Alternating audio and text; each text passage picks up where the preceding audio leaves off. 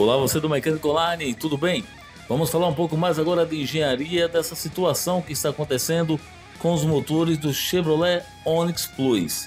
Henrique Pereira, engenheiro mecânico e especializado em motores, explica mais detalhes do que pode estar acontecendo e gerando esse problema nos motores do novo Chevrolet Onix Plus.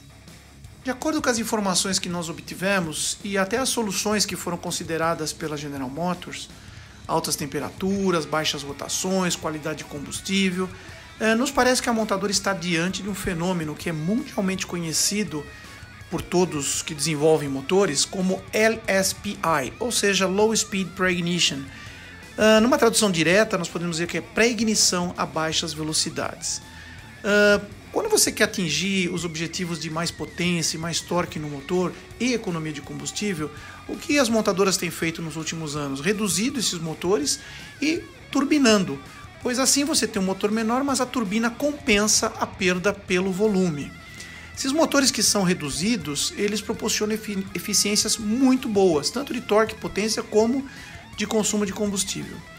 Tecnicamente falando, o fenômeno da pré-ignição a baixas velocidades é um evento de combustão descontrolada dentro do motor, que é causado pelas altas pressões, é, mais altas dentro do próprio motor e muito comum nos motores mais modernos, aqueles que são principalmente turboalimentados ou que têm injeção direta, enquanto eles estão operando em baixa velocidade, mas numa condição de necessidade de alto torque.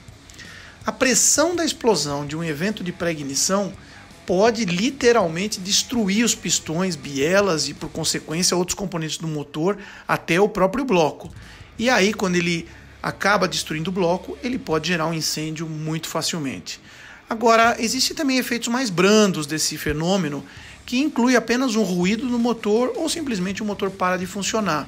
Mas nos casos mais intensos, causam danos catastróficos, como se viu uh, no caso do veículo incendiado.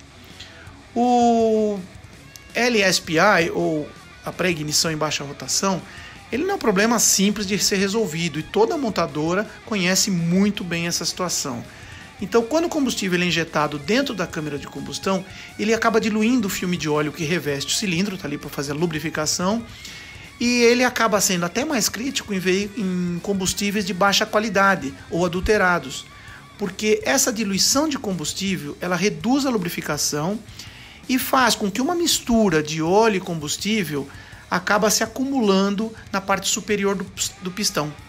Quando você comprime a mistura dentro do motor, isso é dado pelo próprio funcionamento do motor, ele faz com que essas gotículas de óleo e combustível se vaporizem e acabam eventualmente se autoinflamando antes da própria ignição, ignição do motor por faísca. Então isso é o fenômeno. Ele acaba tendo a sua ignição antes da própria explosão do motor, o que é uma pré-ignição.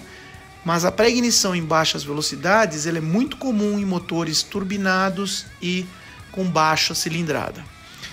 A, a qualidade do combustível, como foi reportado pela própria General Motors, a temperatura e algumas outras situações, o, é um fator muito preocupante para a ocorrência desse tipo de fenômeno, porque algumas químicas usadas em adulterações no Brasil acabam diluindo até com mais facilidade o óleo na câmara de combustão.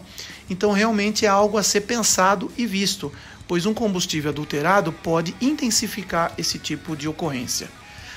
A General Motors alegou no comunicado que eles puseram pra, pra, para o público que existe um defeito na calibração e no software dos veículos. E a correção desse defeito, na verdade, pode sim ser uma solução às falhas, porque tanto o software quanto a calibração do sistema eletrônico que controla o motor, eles podem conter linha de programação que é o primeiro indício da pré-ignição, eles mudam a característica de regulagem do motor e evitam a própria pré-ignição. Então, a solução que a GM está dando hoje, ela sim pode resolver o problema, mas esse problema é mundialmente conhecido, é bem antigo e a General Motors com certeza sabe o que fazer para resolvê-lo.